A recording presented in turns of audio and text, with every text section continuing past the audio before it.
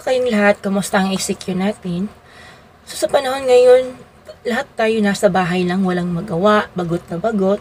Kaya ngayon naisip namin na akyatin ang isang puno ng mangga sa likod ng aming bahay para naman mayroon naman kaming magawa. Ito guys, tingnan nyo.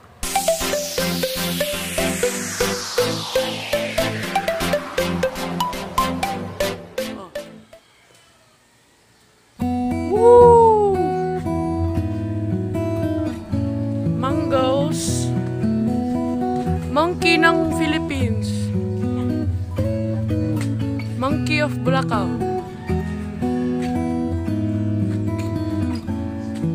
Wow.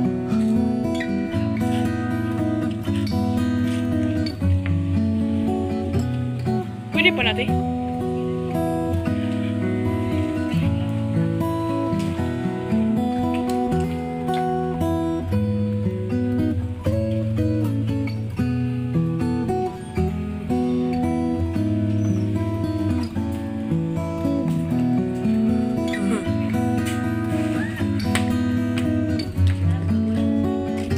Wala, wala.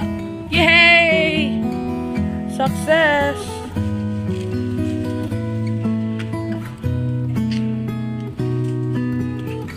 Ay, sa...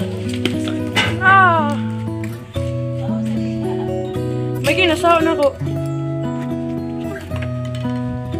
Ay, sakit ako. Whoops!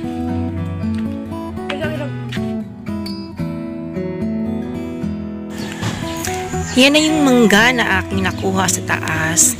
May natira pa pero nga maliliit na lang. So babalikan na lang namin yan sa susunod na araw. Yan yung mga mangga na pag nahinog ay sobrang tamis. Yay! So ngayon inilalagay ko na siya sa loob ng isang karton para daw, sabi nila, madali lang siyang mahinog. Ayan, yan.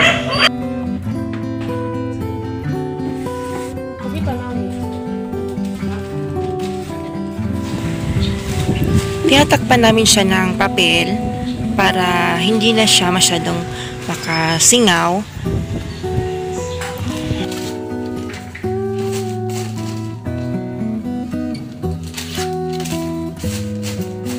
Hanggang dyan lang ang aming video. Salamat sa panunood. Ingat!